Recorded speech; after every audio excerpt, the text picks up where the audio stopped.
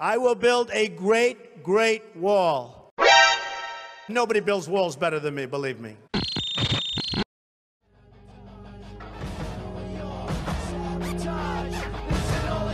Omae.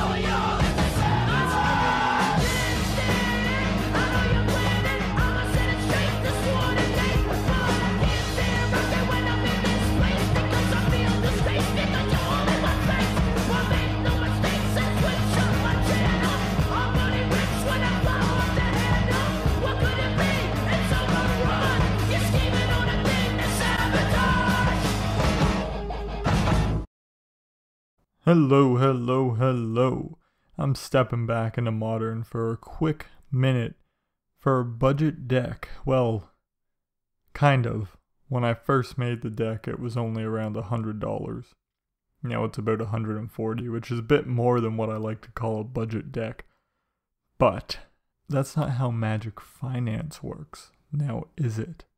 Anyways, this deck focuses on an M19 card that people went ape shit over for Commander.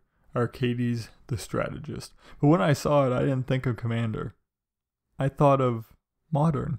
Modern Wall Tribal. Why not? So without further ado, here is Sabotage. It's called that because originally he was printed as Arcades Sabboth. And it's a Beastie Boy song. Who doesn't like the Beastie Boys? Don't don't answer that. That's hypothetical. So this deck focuses on Arcades the Strategist. For one green, white, and blue, you get a 3-5 flying Vigilant Elder Dragon that has whenever a creature with Defender enters the battlefield under your control, you draw a card. Also, your creatures you control with Defender assign combat damage equal to their toughness and can attack as though they didn't have Defender. So basically, we're going to be attacking with a bunch of walls. But relying heavily on a single card kinda sucks, so we're also running 4 assault formations. For 1 in a green you get an enchantment that says each creature we control assigns combat damage equal to their toughness, which is nice, but it doesn't mean our creatures with defender can attack. But luckily it has pay 1 green, target creature with defender can attack as though it didn't have defender, and pay 2 in a green, creatures we control get plus O plus 1 until end of turn. So it's kind of like a worse Arcades. You gotta pay one green for your walls to attack, but it's still better than nothing. So what walls are we gonna be using in this deck? Well first we got our mana walls. Let's start with Sylvan Caryatid, favorite card of mine. 0-3 for a 1 and a green, you get a Defender, Hexproof that can tap and add 1 mana of any color to your mana pool. Overgrown Battlement, for 1 and a green you get a 0-4 Defender, that can tap to add green to your mana pool for each creature with defender you control. And that will add up. We're running all defenders. Axebane Guardian is similar to the battlement. For 2 and a green you get an 0-3 with defender that can tap to add X mana of any combination of colors to your mana pool equal to the number of creature with defender you control. So these will help us go faster. We are technically an aggro deck. We need our walls to fall over on our opponents as quickly as possible. So we're going to be using evasive cards like these to get through and make damage. Wall of Denial. One white and a blue, you get 0-8 Defender Flying Shroud Wall. The Shroud doesn't work well with Assault Formation. We can't target it to attack, so it can only attack if we have Arcades out, but still a Shroud flying 8 power creature. It's pretty crazy. Wall of Shards, part of the reason the price of this deck went up is because this card spiked in price. For 1 and a white, we get a 1-8 Defender Flyer with a downside of a cumulative upkeep that our opponents will gain 1 life equal to the counters on it. And Orator of Ojutai, for 1 and a white we get a 0-4 Defender Flyer that when we cast it we can reveal a dragon card and when it comes into the battlefield if we reveal the dragon or we control a dragon, like Arcades, we get to draw a card. Moving on we have Wall of Omens, one in a white we get an 0-4 defender that when it enters we draw a card, and Wall of Tanglecord, two colorless we get an 0-6 defender that we impay green and it gains reach. So that's pretty nice against any flyers like Mantis Rider. Now the nice thing about all these cards is that most of them are out of bolt range. Unfortunately, they're all within fatal push range. To round out our creatures, we have Tetsuko. For 1 in a blue, we get a 1 3 that says creatures you control with power or toughness 1 or less can't be blocked. Well, guess what? All our walls have 1 or less power, so they're going to be unblockable if we play Tetsuko.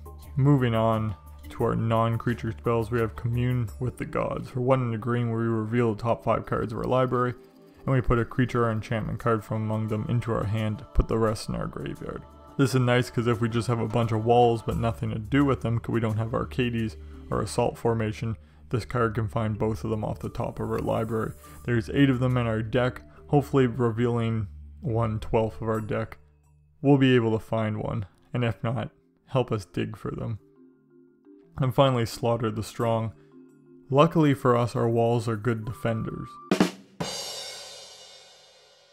But if we find ourselves being overrun, Slaughter the Strong is a good way to help us. Each player chooses any number of creatures he or she controls with total power 4 or less, then sacks all other creatures he or she controls. So even Arcades is only power 3, so we can keep Arcades in all our walls, while our opponent is reduced to a board state of only 4 power. We're also running Brave the Sands, creatures our control have vigilance and they can block an additional creature each combat, so our walls now can attack with insane power and then still be up to defend twice as much. And tower defense for 1 in a green, creatures we control get plus 0 and plus 5 and gain reach until end of turn, so an all over buff of 5 power to our creatures is pretty crazy, especially at instant speed. It's a nice combat trick. Moving on to our lands, we're running 3 Sunpetal Grove, 2 Glacier Fortress, and 2 Hinterland Harbor. They all come in tapped unless we control a basic land of their respective color. And we're running six plains, five forests, and two islands to round out at 20 lands. Moving on to sideboard quickly, we're just running stuff to play with the current meta. So we got Damping Sphere for Tron decks, Ghostly Prison for creature heavy decks, and Kataki War Wage for affinity decks and for a lesser amount Tron decks. We're also running more tax effects in Pithing Needle and Suppression Field, to hurt combo pieces, planeswalkers, other activated abilities that we can't necessarily deal with. We're also running Echoing Truth to bounce pesky non-land permanents and creatures, Nature's Claim to deal with any artifacts or enchantments that might come up, and Prowling Serpopard to prevent our creatures being countered, and finally, a single pair of Swiftfoot boots to help protect Arcades if they're running a lot of removal, and another Slaughter the Strong if we feel like we're being overrun. And that's a deck. It's a pretty fun deck. If you enjoy it, please subscribe, like, share with your friends, family, all that good shit. And I will see you guys next time. Keep having fun.